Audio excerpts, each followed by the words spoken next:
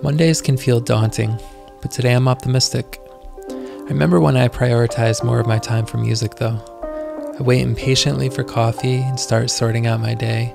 I have a quick catch up with Calvin on priorities, Amna about some cool new ideas, and Marie and I chat about standardizing timesheet details to be to ticket names. Move into our huddle, which is short and efficient, take some abuse from Ryan, and fire through a bunch of to dos. I threw together some leftovers. It was pretty legit. Swing through to see Maria, eat quick on the porch, and take five to bother Treble. I had two client meetings today.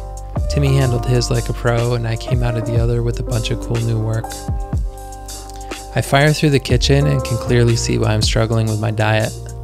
I walk out in perfect weather to grab today's mail while Kim and Maria are passed out watching a show. I settle in for the night and let myself be me.